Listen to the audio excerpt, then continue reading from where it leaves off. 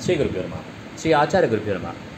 Welcome to my Mardaka video series number 226. Today, I'm again coming with a very interesting Mohra Mukta Magumpu pattern in Rupakatalam. This Mohra is set to 96 Kriyas, the Mukta is set to 48 Kriyas each. Hope you're all enjoying my specially special edition of Mohra Mukta Magumpu series. Let us see how it is going to go.